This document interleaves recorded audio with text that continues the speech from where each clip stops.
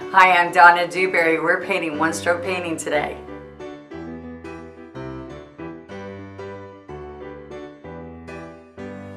Now that you know how to do a tulip, this is what I want to share with you. We're going to multi-load the brush now. So we're going to pick up pink, and I'm going to do two-thirds pink, one-third white, not 50-50.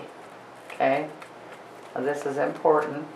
You can make a pretty tulip just pink and white. So I want you to see two-thirds, one-third. Now make sure that the outside looks pretty too, but that's what the inside is, only because I put the pressure. Now what you're going to do is, I want lots of times on white or uh, clear. White shows up very pretty on metal and uh, glass for you to see that clear look. Okay, but I'm going to go here and pick up yellow just on the white edge. Now it's not as bright and pretty if I just do yellow and pink. We're going to have this tulip leaning over a little bit. Now, I'm just going to go through this and you follow me. There's our first stroke. Remember, you can break it into two. I've got one out here. And make sure that you really lean it out. And I get fresh paint every time. One's here. Up.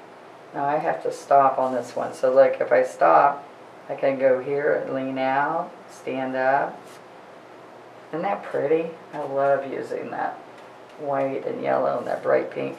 Now, the only reason you can do um, wet on wet is because we have so much paint. And if you have a dry brush when you go there, now see, I'm not using any medium. If you have a dry brush when you go there, it's just not going to look good. See, I still need more paint. So I'm going to pick up more white and yellow.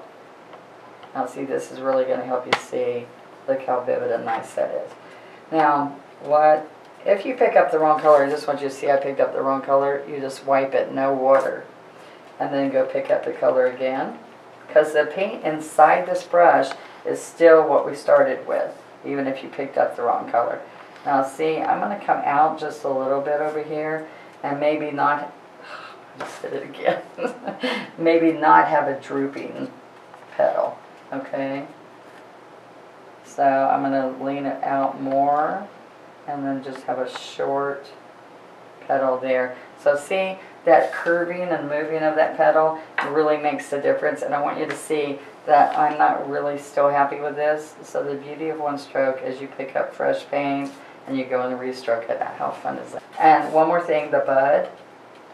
Alright, let's put a bud over here. So I'm doing my triangle design. This is high, there, and right here should be a bud.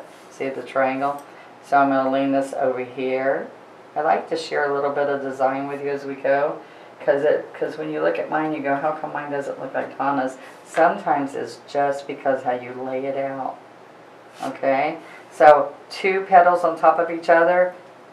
And then I push down and do like a daisy stroke. And I want to see the different fresh color, and that's not fresh.